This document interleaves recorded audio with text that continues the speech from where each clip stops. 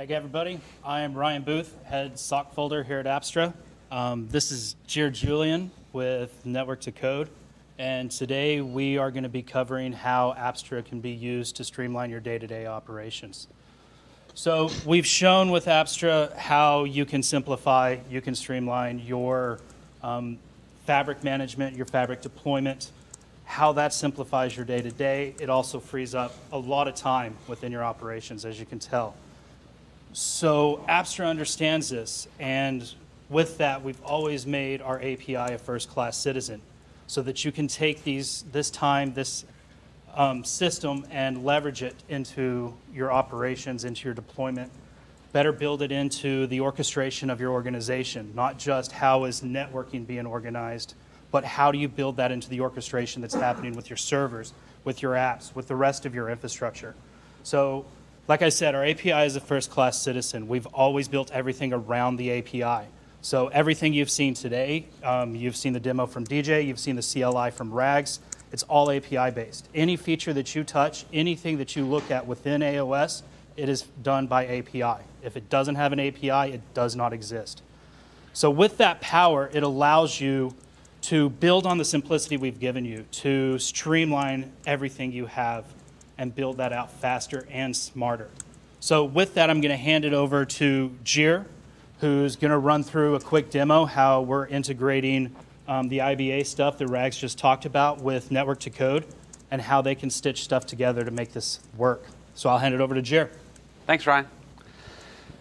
For those that aren't familiar with Network to Code, we're a pioneer really in the, the network automation field, helping dozens of Fortune 500 companies along their automation journeys through training, enablement, transformation services. And it's been a really exciting ride getting to look at all of the different pieces around network management, network configuration, all the automation that goes along with that. And, it, and realizing that it's more than just the, the the core semantics of configuration management. There's so much more to it. Network engineers these days are really focused on, of course, their core job, which is managing a network, but what do they do beyond that? There's so much more. There's, there's configuring the devices, but there's all the communications you have to have between your different stakeholders, your internal teams. There's all the documentation that we have to provide. There's there's all the analytics, the alerting, the monitoring systems. There's so much more than, than just managing the network devices themselves. So how do you keep track of all of that? The more, the more of these things that you're having to interact with every day, you're, you're introducing opportunities for, for, for simple mistakes. You know, when one of my, my core things that, that drives me crazy is when you have to copy and paste the same information into five different places just to, to get your job done every day. Um, that doesn't really add value to you as a network person. What adds value is getting the network thing done, and the whole purpose behind that is there's a business reason that that needs to be done. Somebody has an idea that needs to get out to customers, and this is just one segment of that. So how do we accelerate that? How do we really focus on, on the overall business value? So in this demonstration, we've stitched together a number of tools, and those include uh, ServiceNow, the um, Slack, AOS for both their the intent-based analytics, as well as the configuration and the um, the the monitoring of the devices, the the you know ensuring that that the configurations are applied correctly across the board. And we want to we want to show how we can turn this whole workflow into something that's that's a lot easier to uh, to manage day to day, and and how we can really complement that that configuration management and the analytics with that broader approach to pulling things together.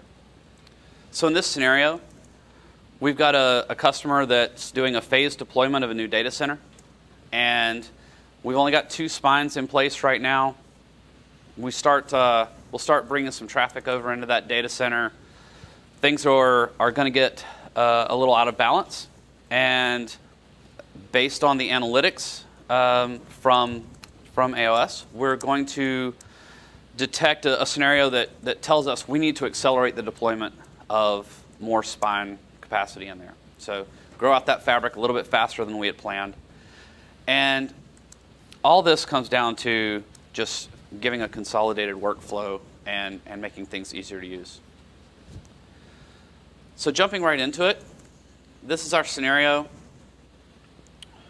We have, as you can see, there's, there's two spines that are active in this fabric. And we have another that we're planning to deploy in you know, another week or so. But what will happen uh, through this, we'll, we'll start driving some traffic across this. The analytics are going to fire. That's going to get picked up by our monitoring system and, and then we'll be able to, to work through the resolution of that pretty quickly. So I'm going to start some traffic in the background here. And then we'll walk over here and, and take a look. These are, these are the intent-based analytics that, that we've been looking at um, in some of the previous sessions. Yeah, so while, while that traffic's taking its time to get through and get picked up on, what I'll explain here is the two probes um, one primarily, and then what we're looking at here. So we have two probes, IBA probes, excuse me. We have a hot-cold interface counters probe. Basically what this is doing, and this is watching all of the links dynamically across the fabric, and it is letting you know, is there any deviation in traffic load? So does traffic all of a sudden spike way high on this link, or does it drop all of a sudden? And it's giving you that indicator that there's something different going on here than what we're expecting. The nice thing with that and with these probes is it goes more, goes further than just saying, hey, let us know when this threshold of, I don't know, eight gigs gets crossed. Or let me know when it goes below mm, that gig. Sure, that works for me. It's dynamic. Um, we're working off a deviation, so it works with the traffic pattern. It recognizes when that traffic pattern is broken, and it's going to turn around and alert on you. And it does right there. If we're lucky, we're also going to see the fabric ECMP imbalance get loaded too. We pump traffic across one specific link of the fabric. Not all of them, just one. So it's going to let you know, hey, this link is getting hammered when the rest of the fabric is not. Why is that happening?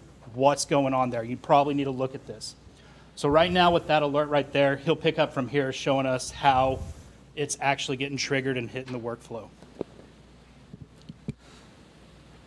So over in Slack here, you can see that the network team just got a notification of the, uh, the analytics um, firing there. So from that, we can actually uh, go ahead and automatically open a ticket. This is something that our team has identified is a likely scenario for needing additional fabric capacity. So we've gone ahead and, and set that up. And as a matter of fact, we'll go right into ServiceNow. And we can take a look at this ticket. We can see there's extended fabric congestion. Here's some information about where that happened. And then we can come over, well, first we'll go in and talk to our data center operations team. We'll make sure that, that this next spine that we have is ready to go, that it's racked, stacked, cabled. Um, and once they have that assigned in AOS, so we'll see that um, you know, if we were to look closely at this device here, now the, the serial number has been assigned, it's, it's attached. So we can go ahead and approve this workflow. Um, so we'll come in here and we'll approve. And if we go back into this ticket, we can actually watch what happens uh, in this process as well. One of the things that that is pretty common is, you know, during the process of a change, you want to attach information about the status of what's going on to the ticket. And that's, you know, that's the whole process of I've got to go here, grab this, copy it over, paste it into the ticket. All that can be handled automatically by the system. So you don't have you don't worry about forgetting a step. You don't worry about missing something, pasting in the wrong place. It's all right there as part of our workflow. And our entire network team is being updated in Slack as well, so everyone's aware of what's going on. So you can see we've activated this new blueprint. This device is deployed. We can go back over here to our dashboard. And meanwhile, now that this has been deployed, now that AOS has validated that this was deployed successfully and correctly, we can go ahead and mark this ticket in ServiceNow that it's ready for review. And for the sake of demo purposes, we, uh, we just have a, a timer on there and we're going to go ahead and close that ticket out as well. But what we really wanted to demonstrate here is that you can still have appropriate manual intervention steps where they make sense. It doesn't have to be a system that's fully automated. A lot of people aren't quite ready for automation to, to, to look at a, a, an alert and automatically follow through with a solution. But you can mix those and you can, you can basically eliminate those mundane parts of the job and, and focus on what, where you can really add value. Yes. this is the part of the entire self-operating network as far as the AOS side. So you're gonna we're gonna create the ticket. AOS is gonna hopefully resolve it, right? And then update the ticket and close it, and that's all happening behind the scenes, alerting whoever it needs to alert.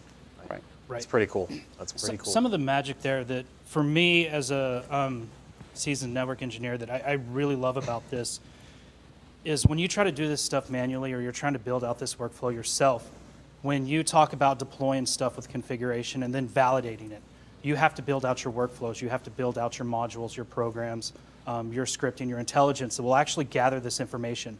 That'll reach out and say, hey, what are my BGP peers doing? How is LLDP? Do those neighbors look good? That gets very complex very quickly. And the nice thing is, is we're handling all of that. So if you watched as this thing was clearing out, you saw that there were anomalies still for BGP peers. Well, that's because your peers take a little bit to come up.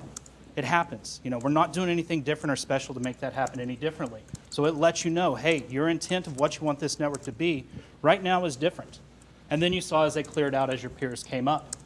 The nice thing is to clear that out and close the ticket, it is now just a simple API call. Reach out to AOS. Do you have any anomalies on your network? If you re return a blank um, structure, you're good. Close it out. You rely on us to validate all that data for you, and that frees up all that time for everything else. So you'd mentioned with the probes that you don't establish sort of what is normal. For example, that port traffic probe that you had there, that it establishes its own baseline. Um, how long, do, how much data or how long does it take to sort of establish what's normal for, for that based on your intent? Sure, sure. Um, that's dependable. With this one right here, we kicked those timers really low. So we wanted to be sensitive and ha happen fast. So we all weren't staring at it for 30 minutes. Right. But all of those are um, tunable. Okay. So you can you can adjust your um, sample window. You can adjust your time period you keep your data. Um, you can adjust the standard deviation values, things like that. And all different probes have different values that you can tweak and work with to get the sample you want and get the outcome you want. And if you've got something that you know, like a host in particular, that you know is occasionally bursty, for example, is there a way to sort of remove those from that interface or that host and say, look, we know that every couple of days this thing's going to explode and that's normal and, and we don't need tickets generated for it? Yeah, absolutely. Um, Rags was running through it with the queries and with everything that you're handling there intelligent-wise. You can tweak and work with that stuff. Um, it's the nice thing with that too is is once you get deeper into that workflow, um, like you mentioned, any of those stages, any of those outcomes we get from all of those processes can be streamed off. If you don't want to stream it off somewhere, query it via API. Every single one of those elements is queryable as well. So you can kick those off and handle that intelligence else, elsewhere as well. So completely flexible with how you want to handle that. Awesome. I mean, ultimately, you don't want a network that's so chatty. I mean, that means that lots of things are broken, right? Right. So ultimately, that's very, very important that it's tunable. You can adjust uh, what you're monitoring, how, how, how you're monitoring things. Absolutely, and that's that's totally to Rags's point earlier. Yeah. You either see absolutely all the alerts of everything at all at once, or you see nothing and everything's great, Right. and that we help solve that.